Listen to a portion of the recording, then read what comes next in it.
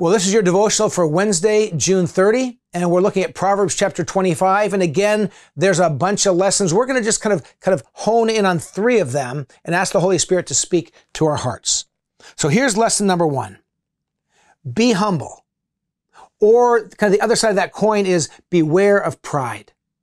Be a humble person, avoid pride. Listen to these words from verses 6 and 7 of Proverbs chapter 25.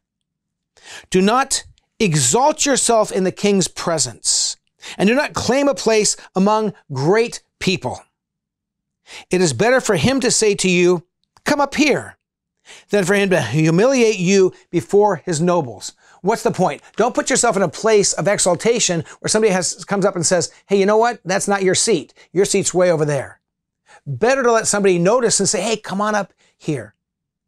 Beware of pride, self-exaltation.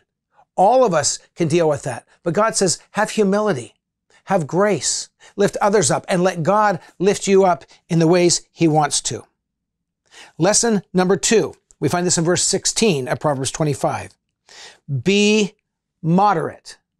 Be moderate. What do I mean by that? Well, listen to the passage. This, this is just a sweet little picture here.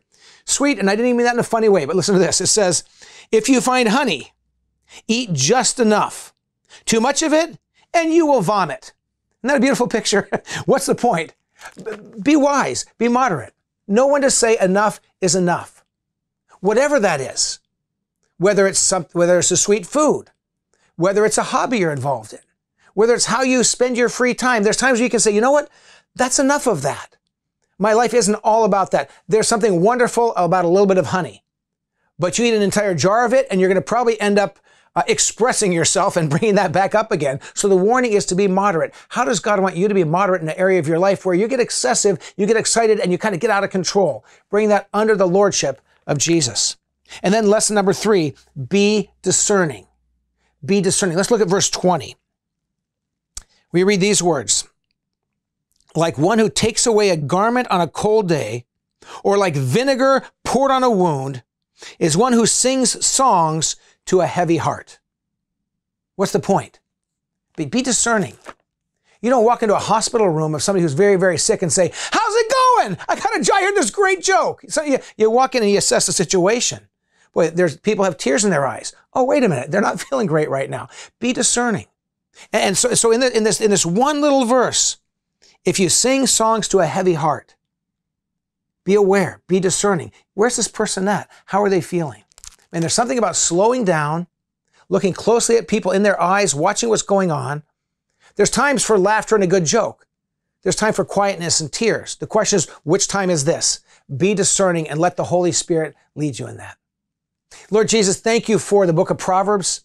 Thank you for these, just these beautiful little nuggets, these lessons that can touch our hearts, our minds, and transform our lives. Help us live out your word. Help us be doers of the word and not hearers only. We pray this in Jesus' name.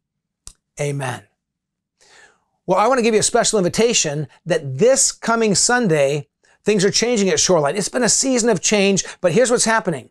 We will be having two services on Sundays for the summertime, 9 o'clock and 11. And at 9 and 11, we'll have the exact same thing going on.